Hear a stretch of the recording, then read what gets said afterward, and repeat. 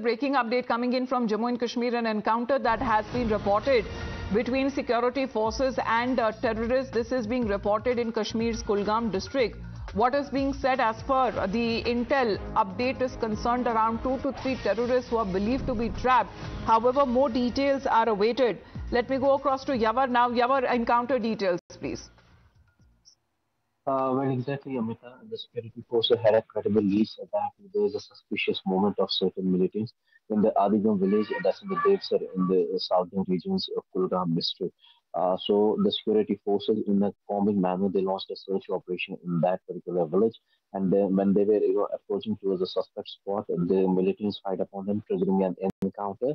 And uh, this operation has been intensified now.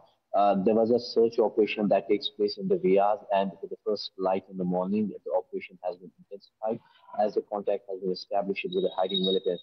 Uh, now remember that already there was a security alertness across the Jammu and Kashmir ahead of the third phase of the unitary polls. And yesterday the security forces they got a big success uh, by you know arresting six uh, Jaish OGWs in the Avantipora. From them, five IEDs were recovered.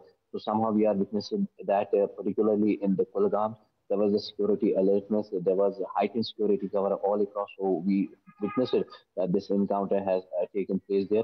As I'm speaking to you, the officials have to say that two to three militants right. are believed to be trapped there. And uh, the security forces have to say that the first priority is to minimize the collateral damage.